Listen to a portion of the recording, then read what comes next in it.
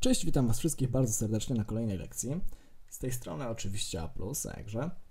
Dzisiaj się zajmiemy takim bardzo ciekawym zadaniem, jakie wygrzebałem, dotyczącym ruchu jednostajnie przyspieszonego, przy którym teraz jesteśmy. A zatem zadanie ma następującą treść.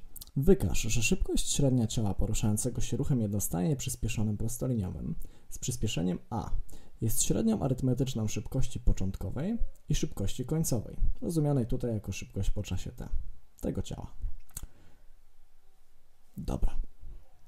I jakby to zrobić? Oczywiście dam 5 sekund na chwilę na, na zapauzowanie filmiku i spróbowanie zrobienia tego samemu. 5, 4, 3, 2, 1. Dobra. I my przystępujemy do rozwiązania. Oczywiście lepiej jest zawsze rozwiązać samemu, albo przynajmniej spróbować rozwiązać samemu, a dopiero potem zweryfikować rozwiązanie z filmikiem. No dobra, ale jedziemy. Czyli mamy udowodnić, że szybkość średnia ciała jest średnią arytmetyczną szybkości początkowej i szybkości końcowej. Przypomnijmy sobie na początek, co to jest szybkość średnia ciała, dlatego że jej dotyczy, jej dotyczy cały problem tak naprawdę. Wiemy, że to jest S przez T, czyli droga pokonana przez ciało, całkowita droga pokonana przez ciało w czasie, przepraszam, w czasie, w jakim została pokonana ta droga. Dobra. Wiemy, co to jest czas, to jest całkowity czas, w jakim została pokonana droga, ale zastanówmy się, czym jest to S, czym jest ta droga. S, jak może pamiętamy, czy nie pamiętamy, S to jest nic innego w ruchu jednostajnie przyspieszonym, jak V0 razy T plus AT kwadrat drugich. No dobra, a zatem nasze S przez T to będzie V0 razy T plus AT kwadrat drugich i całość przez T. Czas możemy sobie oczywiście skrócić, T, T i tutaj jedno T i zostaje nam takie wyrażenie, że V średnie to jest V0 plus A T drugich. No dobra, co możemy z tym zrobić?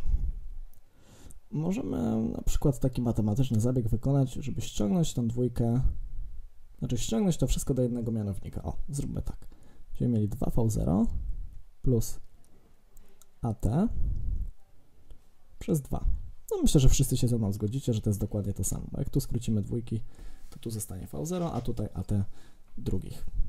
Dobra. Ale to możemy dalej sobie rozpisać, że to jest v0 plus V0. No, nikt chyba nie wątpi, że 2V0 to jest V0 plus V0 i wszystko plus AT. I przez 2. I teraz, co się okazuje? Nasze V0 to jest oczywiście V0, czyli szybkość początkowa, a V0 plus AT to jest co? Tak jest, to jest szybkość końcowa. A zatem mamy V0 plus V końcowe drugich.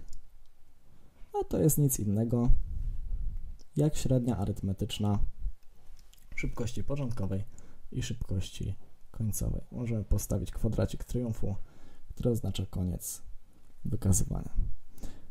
Dobra. Myślę, że to jest zrozumiałe. Dziękuję Wam serdecznie za uwagę. Zapraszam do subskrypcji naszego kanału na YouTube, do lajkowania naszej strony na Facebooku i do usłyszenia na kolejnych lekcjach, na których jeszcze więcej ciekawych zadanek.